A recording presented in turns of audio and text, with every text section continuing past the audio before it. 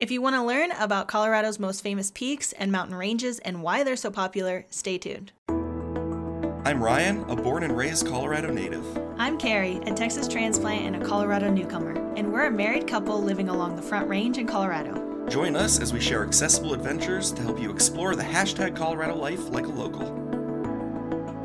We're definitely focusing on the most notable 14ers or the most famous mountains and mountain ranges basically the ones that we have on our bucket list or suggest that you add to yours. So, what are some famous Colorado mountains, aka kind of probably the ones that are the most photographed? And what are they known for? At number one is Pikes Peak. It's one of the most famous and most recognizable, and it's number one on our list because it's right outside of our door. We can see it pretty much every single day. Mm-hmm. Also known as America's Mountain because it was the inspiration behind America the Beautiful anthem. You know, the whole purple, purple Purple Mountain Majesties? Yeah, that one. It sits at a whopping 14,115 feet tall, so it is indeed considered a 14er. And Zebulon Pike, by the way, Zebulon, what a name, was the first explorer who documented his climb of Pikes Peak, although he never did make it to the top, and he also predicted that nobody would ever make it to the top. And now we're at the top pretty much every day. Yeah, it's a paved road and everything. Yeah. you can bike or hike up and down the mountain trails, or access the peak via a car, but it is a super windy and narrow road. Um, you may also be required to take the complimentary shuttle up during busy summer months due to the limited parking at the top of the peak. And don't try to get there in the winter, it's very likely going to be closed. Mm-hmm. Uh, there's also the Pikes Peak Hill Climb, aka the Race to the Clouds. It's an automobile and motorcycle race to the top of the mountain. It started in 1916 and the track measures 12 and a half miles and has over 156 turns, climbing 4,700 feet at the start of mile number 7 on the road up on the Pikes Peak Highway to the finish at the summit of 14,000 feet. At number two, we have the Maroon Bells. The Maroon Bells are actually sister mountains, and they're said to be the most photographed peaks in the Rocky Mountains. Um, if you ever see a generic picture of Colorado mountains, it's most likely a photo of Maroon Bells. Maroon Valley has a beautiful reflective lake with two gorgeous peaks, Maroon Peak and North Maroon Peak, both of which are 14ers towering over 14,000 feet high. They were actually named for their bell like shapes and reddish color. This is why they're called Maroon Bells. They're located in the White River National Forest, about 12 miles from Aspen, Colorado. And as far as things to do, you can go for a hike or bike ride along any of the six scenic trails or enjoy some camping at various camping sites that are available. During the winter, you can snowshoe, snowmobile, or cross country ski Maroon Creek Road to get to the valley. But our favorite time to visit is in late spring or early summer when you are surrounded by fields of blooming wildflowers. And it is a really picturesque valley. So that's why it is the most photographed, is because it has the most beautiful pictures. I mean, you have mountains, water, everything you can think of sunset, sunrise. Beautiful. Yeah, like when you say generic picture, it, it is mm-hmm. generic Rocky Mountains, but it doesn't take away from any of the beauty that it actually is. Mount Crested Butte is known for its super pointed shape, and it sits at 12,162 feet, so it is about 2,000 feet shy of being a 14er, but it doesn't make it any less grand or any more daunting to have to climb. It is located in the iconic mountain town of Crested Butte. Shocking. Yeah, name yeah, big shock there. Just north of Gunnison National Forest, the mountain is home to the Crested Butte Mountain Resort and offers summer activities and skiing in the winter. It is home to lots of wildlife and is far less crowded than the other mountain destinations we mention here. You can come for the Summer Wildlife Festival or the winter skiing, and then, of course, hike Mount Crested Butte for yourself. At number four, Longs Peak is another one of Colorado's famous 14ers and reaches 14,259 feet high. It is known as being the highest point in Boulder County, Colorado, and is the only 14er in Rocky Mountain National Park. It is located 9 miles south of Estes Park and southwest of Loveland, Colorado. The hike up to the summit, called Keyhole Route, is a long 14 and a half mile round trip and a very risky climb even for experienced hikers. For a less intense hike, check out the 2.8 mile Mills Lake Trail, which has amazing views of the peak from all different sorts of angles.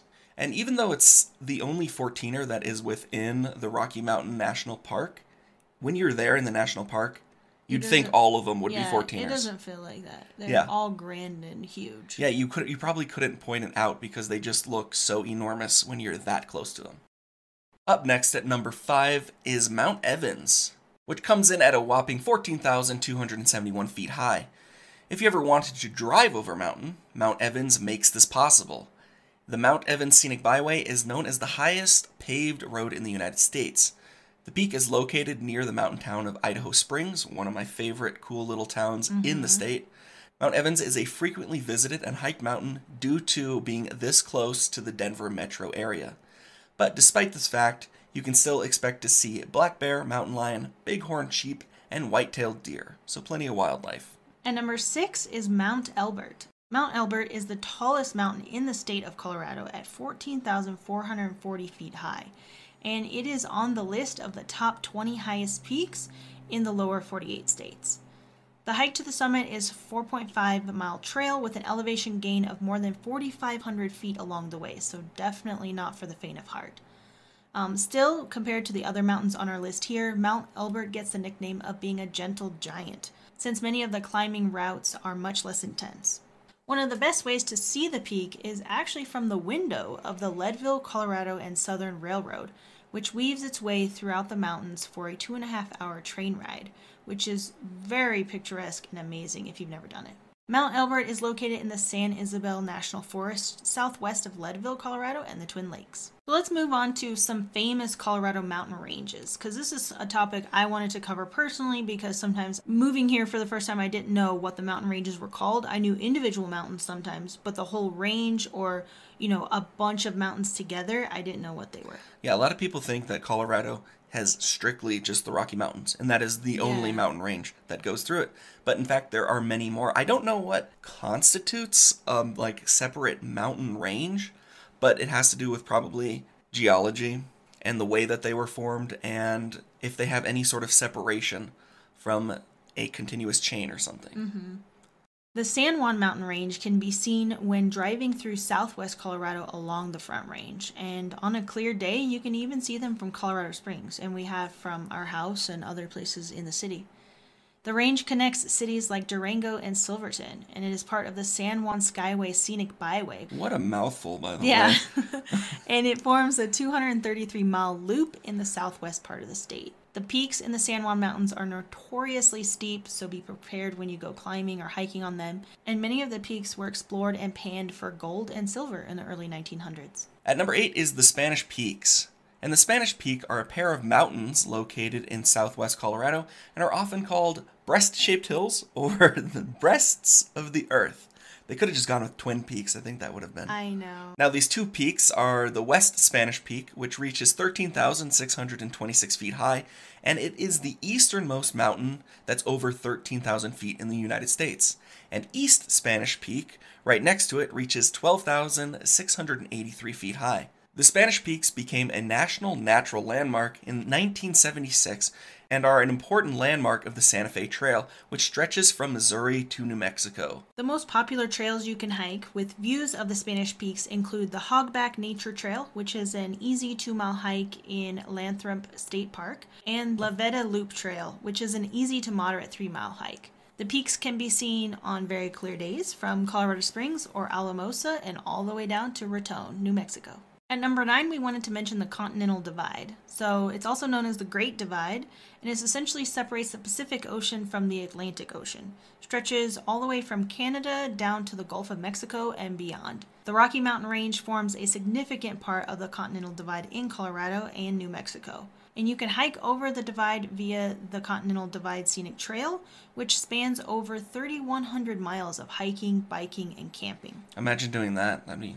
I mean, that makes the Appalachian Trail look puny. Mm-hmm. Sheesh. Or you can drive over the Trail Ridge Road and get out to view the divide from a distance and take photos. Uh, fun fact the Trail Ridge Road is the highest continuous paved road in the U.S. Or you can skip the I 70 traffic and drive through Loveland Pass, which is a series of twisting and winding roads that meets up with the divide at 11,900 feet. At number 10, and our final one, is the Sangre de Cristo Mountains which are the southernmost range of the Rocky Mountains and contain several 14ers. Sangre de Cristo is Spanish for blood of Christ, and they received this name from their reddish color that was very bright during sunrise and sunset, as Colorado, as you know, used to be a, a Spanish territory. Mm-hmm. These mountains stretch 225 miles from Salida, Colorado, all the way down to Santa Fe, New Mexico, and are one of the longest ranges in the world. They're home to some of the best rock climbing, downhill skiing, and whitewater rafting, with hundreds of miles of trails for biking and hiking. Mount Crusted Butte. No, it's Mount Crested Butte, Mount Crusted Butte. Maroon Peak, and North Maroon Peak, both of which are 14ers towering over 14 feet high. They were actually named What? you said 14 feet high. towering over 14,000 feet high. If you enjoyed this video, please hit the like button to show your support. And to get new videos from us every week, be sure to hit that subscribe button.